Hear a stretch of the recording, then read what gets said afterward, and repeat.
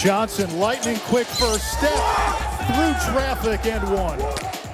In a niche just to try to get somebody in foul trouble. You want to stick to your game plan, and if it happens naturally, that's great. I'd like to see Pitt pick up full court a little bit more. And Capel said it's nice to see some of these young guys that we brought in now be grizzled veterans on this team. And he said they're starting to understand it. When a coach says a player can understand, then you know the players flap the ball out of bounds off of Wong. Another steal. Olaniyi with his first basket as a Hurricane. They've gotten to the free throw line a lot. That's a big reason why. Toney rejected by Brooks. That's what died the ability to cook. He can block shots at the rim.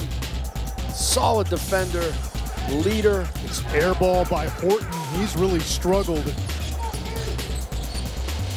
One for his last 11 coming into this game. And Beverly gives Miami the lead.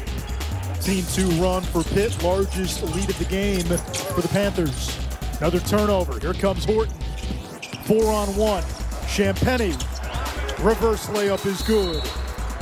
And they'll be one of the top five teams, I believe, in the ACC.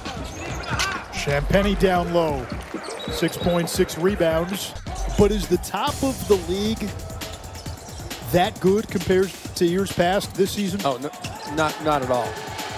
Not at all. It, it's a balanced top. I mean, you're talking top four teams.